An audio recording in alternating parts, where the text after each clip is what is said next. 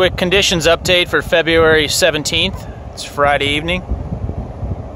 Beach is closing to driving right now, and uh, ocean doesn't look too bad. If you're thinking about going out this weekend, we got a uh, relatively calm seas.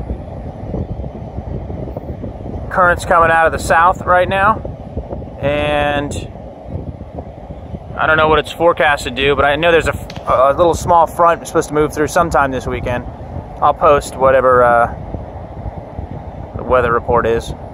But just give you a little idea what it looks like. So when you're trying to make up your mind of what you're doing tomorrow,